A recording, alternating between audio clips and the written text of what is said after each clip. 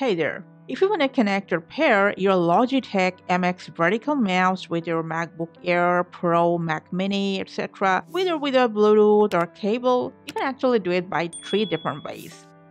First, if you got the receiver that came with the box, you gotta just plug it into your Mac.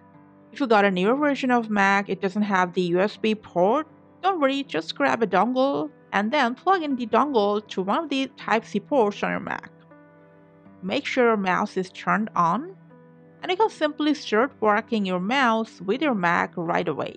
If you don't have the receiver or maybe it's not working, happens all the time, don't worry. All you gotta do is just grab the cable or the, you know, the charging cable that came with your mouse. Plug it into your Mac and the mouse and connect them together. If you got any type C to C or USB to C cable, you can also plug it into your Mac and your mouse and connect both the devices together and you can also use it right away. And then you'll have an extra benefit. This will charge your mouse and then you can work with your mouse on your Mac while it's charging. Now, what if you don't have the cable or receiver with you right now, or it's not working, you still want to use your mouse? In that case, we're going to go with the Bluetooth pairing. So first I'm going to just go ahead open settings on my Mac. From there to Bluetooth, just make sure it's turned on. And then just grab your mouse, just press on this button at the bottom to select the channel.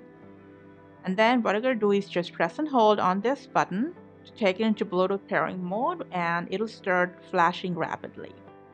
Your MX Vertical's name will pop up in these other devices list. What you have to do is just press on connect. And that's it, they are connected. In addition to that, you can just go ahead, search for the Logitech Options Customization software, and then just install the Mac compatible software on your device. And after that, just go ahead, follow the prompts one after another, and then properly set it up. And then from this app, you can perform various functions, including you can remap all these button functions according to your own personal choice and preference, and also you can reset your mouse. And that's pretty much how you can connect your Logitech MX vertical mouse to any of your MacBook. Thanks for watching.